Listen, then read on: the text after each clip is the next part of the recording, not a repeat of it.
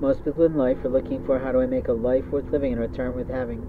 One of the hardest parts of having faith is practically being willing to listen to the Holy Ghost who gives us lessons and training in a lot of ways.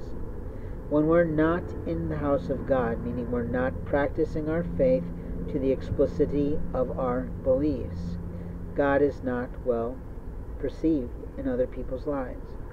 What I mean is that we're not representing Jesus, we're not representing Muhammad, we're not representing whatever Veda that floats your boat and doesn't sink your ship. But what I mean by that is that people are always evaluating us based on the words we speak. Tonight's little episode of me having to evaluate something was a joke that turned into more insult to me than anything else.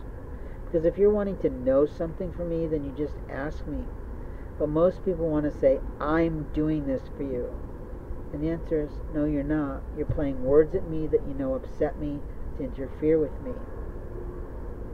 And I'm just sitting peacefully on a one by one meter square. When I made this video earlier, God had some things going on, meaning the world changes, people shift, emotions change on a dime, and you never know what the Lord God is thinking is not true. Jesus Christ, the one that most Christians believe is God, has been filled into a parenthesis in most people's life. Meaning, when they get the word God, who is God, they immediately go, Jesus, in parentheses. And that's not true. Because most people make their technology God. Most people make their social media God. Most people make their men's fellowship group God. Most people make their husband or wife a God, and most people don't do what they need to do to actually believe in God.